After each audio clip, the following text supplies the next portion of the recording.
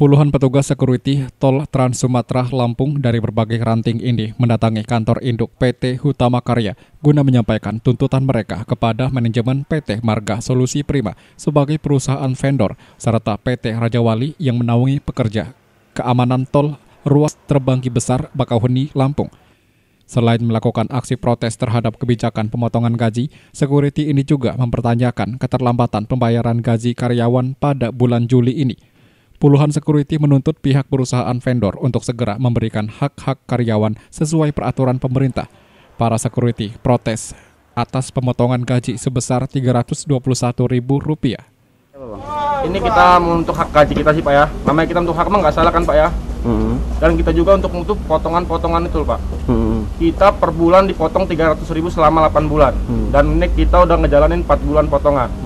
Berarti 300 kita ada 73 personil. 300 kali 73 22 juta potongan. Dalam satu bulan ya? Dalam satu bulan. Dan 4 bulan dapat dapat duit 92 juta.